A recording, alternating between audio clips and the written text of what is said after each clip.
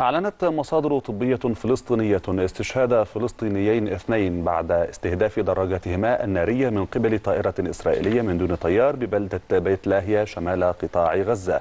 تزامن ذلك مع اندلاع مواجهات بين قوات الاحتلال ومحتجين غاضبين على قرار الولايات المتحدة الاعتراف بالقدس عاصمة لإسرائيل. هذا وقالت مصادر أن المواجهات دارت في المدخل الشمالي لبيت لحم وفي مفرق بين عينون أو بيت عينون. كذلك اندلعت مواجهات بين الطلبة وقوات الاحتلال في محيط المدارس ببلدة طقوع شرق المحافظة جنوب الضفة الغربية المحتلة. ووفقا للمصادر فقد سقط جرحى نتيجة استخدام الاحتلال الغاز المسيل للدموع والرصاص المطاطي كما جرى اعتقال عدد من الشباب لترتفع حصيلة الاعتقالات خلال الخمسة أيام الأخيرة إلى 200 فلسطيني.